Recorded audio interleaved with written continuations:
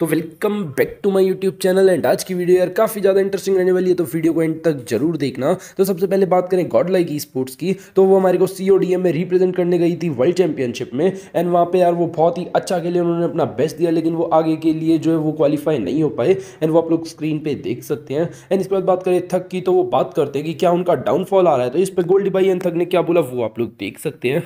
आपको मैं बता देता हूँ कि हमारे डाउनफॉल में भी ना बाकी लोग से बहुत ज़्यादा ऊपर आई एम ग्लैड मैं चाहता हूँ भगवान ऐसा डाउनफॉल बहुत uh, yes you you might be right. We are seeing this downfall but शायद आप लोग अभी probably especially those who are here to troll आप लोगों ने अभी 2023-24 से स्पोर्ट्स फॉलो करना शुरू किया है।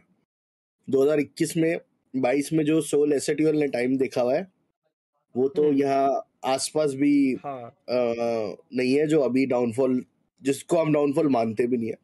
हाँ मैनेजमेंट हम लोग के एंड से कुछ चीज़ें स्लैक हो रही थी वो हम फिक्स करने में लगे हुए हैं और बहुत जल्दी हो जाएगी। और बहुत अच्छी अच्छी चीज़ें आपको सुनाई भी देनी लग जाएगी जैसे तक ने बोला दो दिन में एक इंटरनेशनल अनाउंसमेंट भी मैक्सिमम दो दिन तीन दिन हाँ के अंदर मतलब उसमें थोड़ा सा ये हो जाए कि अगर थोड़ा सा हम्म, हमें पब्लिशर से पंगा आ गया तो गड़बड़ हो जाएगा बस नहीं हुआ तो बस वो पब्लिशर के एंड से अगर एंड इसके बाद जो था गैन गोल्डी भाई हैं वो बात करते हैं कुछ कास्टर्स से रिलेटेड कि कुछ कास्टर्स जो है वो फेक न्यूज़ स्प्रेड कर रहे हैं काशवी से रिलेटेड एंड और भी बहुत कुछ बोलते हैं तो उन्होंने क्या बोला वो आप लोग देख सकते हैं। हाँ करने में। हाँ। एंड भाई कुछ कास्टर्स से और लोगों से रिक्वेस्ट है कि आप लोग का अच्छा रोटी पानी चल रहा है टीम्स के बारे में प्रडिक्शन उडिक्शन देंगे। कृपया करके इंटरनल मैटर में ना घुसे हम लोग के।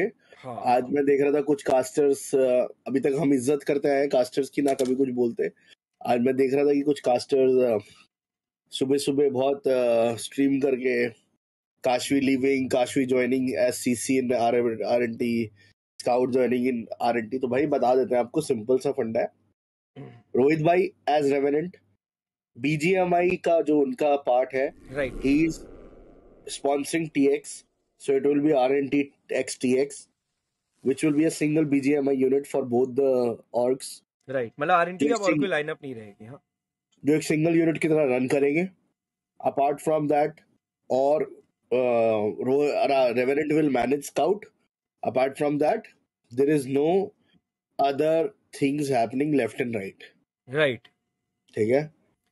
एंड इसके बाद हमारे को ब्रॉडकास्ट चैनल के अंदर जो कास्टर्स है, उनकी एक डिस्कशन देखने को मिलती है, जहाँ पे वो ये फिगर आउट कर रहे होते हैं कि किसने बोला है काशवी से रिलेटेड तो वहाँ पे इनसे सबसे पूछते हैं कि किसने बोला था। तो इस चीज़ के ऊपर हमारे को गेम जो टेक भी रिप्लाई करते हुए दिखाई देते हैं, जहाँ पे उन्होंने ये चीज़ भी बोली कि कभी कभी बोल के तो भूल जाता है, भाई चेक कर ले एक बार। एंड इसके बाद हमारे को काफ़ी ऐसी भी चीज़ देखने को मिली, जहाँ पे सरदार जी लिखते हैं कि उन्होंने ये गलती पहले भी करी है, जब वॉचिंग जो ज़्यादा चली जाती है तो मुँह खुल जाता है। तो करेक्ट कर दिया उन्होंने ये सब चीज़ें एंड अब वो ऐसी चीज़ें नहीं करते हैं। एंड इस चीज़ के ऊपर इनसे नरेना भी रिएक्ट करते हैं कि उन्होंने भी नहीं बोला है। तो आप लोगों को क्या लगता है, किसने ये चीज़ बोली होगी? आप लोग कमेंट सेक्शन में बता सकते हैं। एंड इसके बाद जो जूसी है, उन्होंने ब्रॉडकास्ट में एक मैसेज डाला, जहाँ पे उन्होंने लिखा था एट बिट से ही बना हूँ एंड आज जो हूँ, वो एट बिट की वजह से हूँ। एट बिट नहीं होती तो जूसी नहीं होता।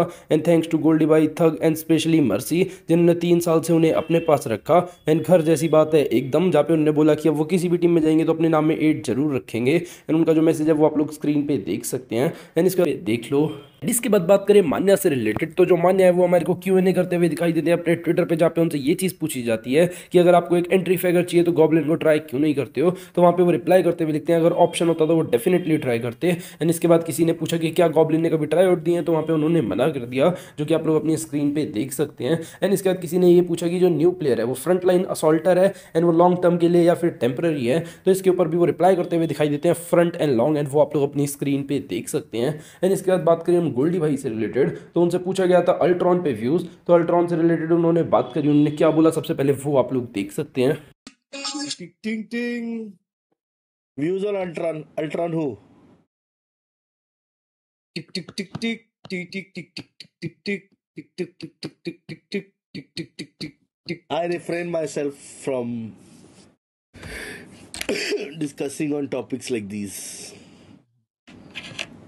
टिक टिक एंड इसके बाद जो अल्ट्रॉन है वो हमारे को लाइव आते हुए दिखाई दिए इंस्टाग्राम पे जहाँ पे उन्होंने इस चीज़ से रिलेटेड रिप्लाई करा एंड वहाँ पे वो हमारे को गोल्डी वाइब से गुस्सा देखने को मिले थे। वो वाली क्लिप भी आप लोग देख सकते दिस इज़ हार्ट ब्रेकिंग यार इसका रिप्लाई देना था मुझे अल्ट्रॉन होगा यार। कल मेरे पास किसी ने क्लिप भेजी थी। मैं अब इतना देखता नहीं स्ट्रीम व्रीम या इतना क्या देखता ही नहीं मैं। स्ट्रीम वगैरह। मेरे को तो किसी ने क्लिप भेजी थी भाई और टैग भी करा था एक दो लोगों ने अल्ट्रॉन हु पे। तो मैं यार क्या ही रिप्लाई दूँ यार। स्काउटर आपका क्या हो गया? कुछ नहीं हुआ ब्रो इट्स ऑलमोस्ट सॉर्टेड कोई सीन नहीं है। चिल करो।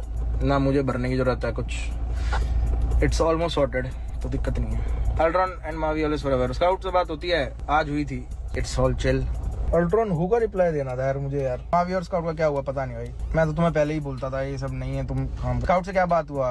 चिल है टेंशन या शॉर्ट कोई बड़क वाली बात नहीं है। No reply scout matter sorted है यार, क्यों तुम लोग भड़क ले रहे हो? हो जाती है, अनबन, थोड़ी बहुत। कुछ बातें होती है मिसअंडरस्टैंडिंग हो जाती है, हो गया सॉर्ट चिल करो। क्या हुआ? अरे यार, एक बदमाश है कम्युनिटी का, जो अपने आपको बदमाश समझता है, बहुत बड़ा। उसने स्ट्रीम पे आके काम का मैं ना स्ट्रीम करता, ना कुछ करता, ना मैं इंस्टा पे बकचोदी करता। हल्के बहुत स्वाद ले लेता हूँ, कोई भी कॉन्ट्रोवर्सी होती है। तो एक बदमाश है कम्युनिटी का, वो स्ट्रीम पे बोला कि भाई अल्ट्रॉन हु भाई डीएम किसका आया था एज अ फ़ैन अल्ट्रॉन वो, जो गेम प्ले का जो फ़ैन का एज अ फ़ैन का आया था ना, कि गेम प्ले बहुत खतरनाक है और वो। चलो ये तो यार सारे कोई ना किसी को ना किसी को आइडलाइज करता है। लिख दिया भाई, कोई बड़ी बात नहीं है भाई। उसके बाद जब एक बार बहुत तगड़ी फट गई थी अल्ट्रॉन ने साथ दे दिए थे, झूठे स्टेटमेंट दे दिए थे। तब अल्ट्रॉन भाई अल्ट्रॉन ने जब साथ दे दिया, कोई नहीं देता। अल्ट्रॉन के लिए हम ज़िंदगी भर खड़े हैं। क्या बुलाता था मुझे? पता नहीं क्या, छोटे भाई के साथ एक और वर्ड बुलाता था कि छोटा भाई है बिल्कुल। पता नहीं क्या बोलता था कम्युनिटी का बदमाश। भूल गया मैं। तो पहली बात तो भाई, जब काम था तो अल्ट्रॉन भाई, छोटा भाई है, ज़िंदगी भर साथ देंगे ये और वो।